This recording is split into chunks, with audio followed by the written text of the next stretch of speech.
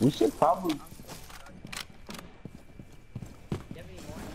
What, torches? No, I actually didn't find it. Did you find it? No,